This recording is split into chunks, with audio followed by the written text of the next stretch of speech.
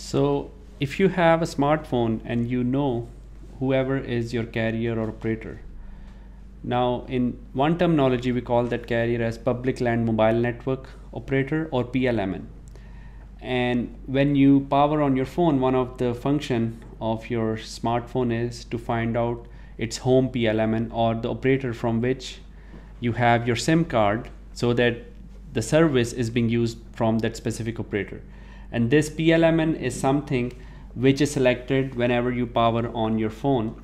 And this PLMN selection is also one of the tasks of uh, in idle mode.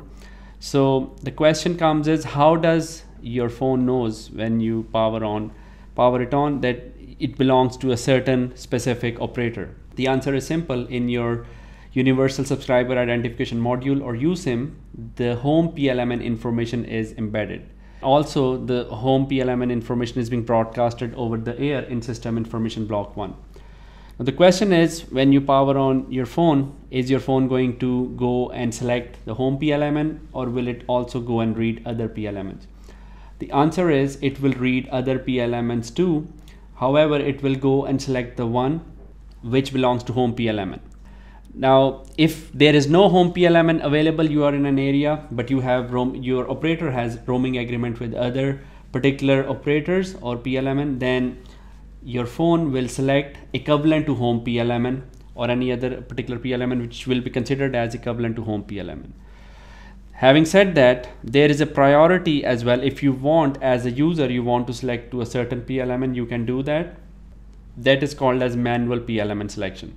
And then if operator wants to give priority to another PLMN they can do so as well. What did I say in the last 20 seconds? I listed a number of options. So if I said a number of options UE also have to look for a number of options. And rather than confusing ourselves or UE for a number of options in fact there is an algorithm or a priority list which is defined already in the system. So whenever phone is powered on it has a list to scan different PLMNs and whichever PLMN comes on top on the list, you will select that specific PLMN. Remember, the priority is always home PLMN first. So in order to discuss how you go and select a particular home PLMN, we are going to go through that specific algorithm or priority list. So the first thing first which happens is if you see on the screen on the SIM card, UE has the home PLMN information and after getting powered on it will start reading coverage from all different cells from whichever it is able to receive signal. So as you can see it is measuring reference signal received power and after measuring RSRP how would UE know that a particular cell belongs to a certain PLMN? It will have to read system information block 1 which is part of broadcast channel information. So the second step is UE is going to read broadcast channel information which you see in this case as step and based on that particular information it is going to identify which particular cell belongs to which PLMN. Once that is identified it will arrange them based on their signal strength and frequency. Having done so if all of them belong to the same PLMN or same home PLMN you can select right away the strongest signal strength PLMN. However if that's not the case then how you will behave otherwise. In that case, UE is going to arrange all the PLMNs being read in a specific list. For example, on the screen you can see there are almost six different PLMNs which UE is able to read. Now, within these PLMNs, one of them is also home PLMN. However, UE will go through a priority list and arrange these PLMNs in such a way based on that algorithm or priority list and decide whichever comes top on the list, that one will be selected. So for example, if this is the list, that list of PLMNs will be rearranged according to a certain order and that order is shown on the right side of the screen. So number one, the first priority is given to home PLMN, which you can see, and that home PLMN is within the SIM card. If that home PLMN is not available, then whichever is equivalent to home PLMN, that one will be selected.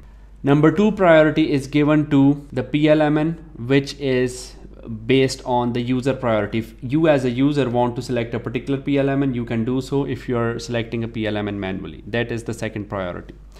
Number three, if operator wants to give priority to a certain technology or PLMN over the others, you will select that particular PLMN which has an operator control priority over the other.